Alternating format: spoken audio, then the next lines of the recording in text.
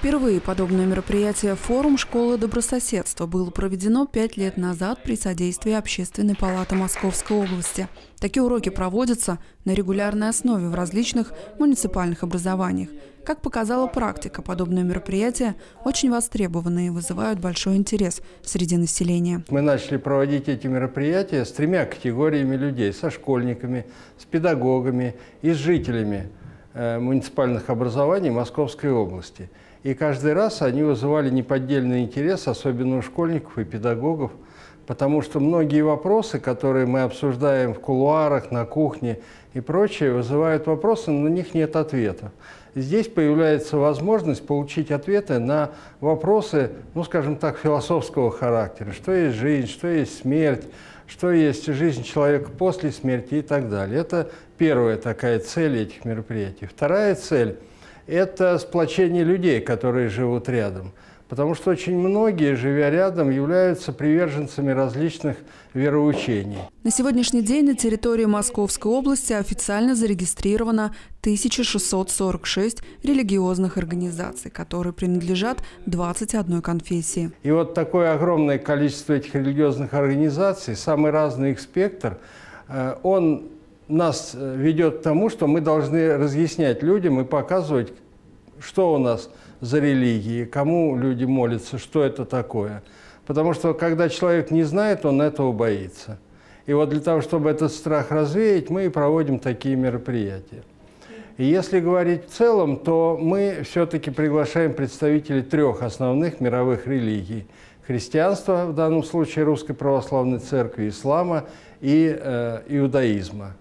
Но сегодня у нас будет два, потому что, к сожалению, Равин, местной еврейской организации, у нас приболел, поэтому сегодня мы ограничимся двумя представителями Русской Православной Церкви и Духовного управления мусульман Московской области. В Дмитрове такое мероприятие проходит впервые. С учениками 11 класса средней общеобразовательной школы номер один имени Кузнецова пообщались настоятель храма всех святых отец Петр, который рассказал ребятам о христианстве. Христианство – это религия любви. А любви, конечно, не плоской, а любви духовной, потому что две главные заповеди, заповеди христианства – это любить ближнего и любить э, Бога. А сам Господь Иисус Христос э, нам показал пример любви к ближнему, распявшись на кресте за все человечество. Вот. И, э, соответственно, Он уже и говорил, нет высшей любви, если человек свою жизнь отдаст за другие свои. Гости урока отвечали на вопросы детей по очереди. О мусульманстве ребятам рассказал председатель местной религиозной организации мусульман Ренат Хазрат Якупов. Мы провели небольшое исследование на часто задаваемые вопросы, и одни, одни из них мы хотим задать вам. А, можно ли в вашей религии а, молить Всевышнего об отомщении? Если да, то является ли это грехом? И какая позиция на этот счет вообще у вашей конфессии? А то, что отомщение есть око за око, да, э, глаз за глаз, то, что э, есть, э, как бы скажем,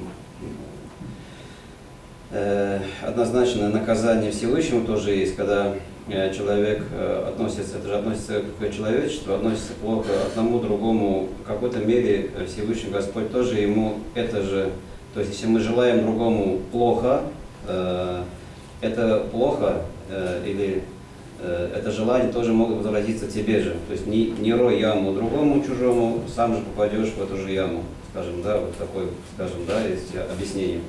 То есть э, человек должен э, быть в мире, если взять, например, ислам, если мы здороваемся, ассаляму алейкум, значит мы хотим мира, да, мир. Мир э, вашему дому, мир тебе, ты говоришь, алейкум ассалям, тебе тоже мир. То есть это, конечно, призывает ислам к миру. В этот день от учеников 11 класса также прозвучал актуальный вопрос на тему войн. Война – это зло. Вот, убивать э, человека – это плохо. И есть э, одна из десяти заповедей Деколон э, миссии, где говорится, что не убий.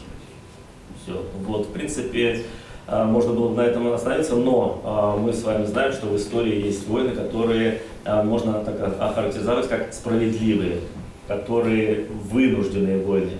Для примера, ну, самый яркий пример – это Великая Отечественная война. который мы можем со стороны Советского Союза назвать именно справедливый, вынужденный, которая, ну как бы так, опять же, условно скажем, э, война добра со злом. И вот проявление любви в этой войне, кстати, э, также имело место, потому что многие жертвовали собой ради и однополчан, и вообще мира на земле. Как отметил Виталий Замарахин, дети – самые замечательные и любопытные слушатели. если будет интерес к мероприятию «Форум школы добрососедства», то при содействии Общественной палаты Дмитровского городского округа в муниципалитете обязательно проведут еще подобные уроки.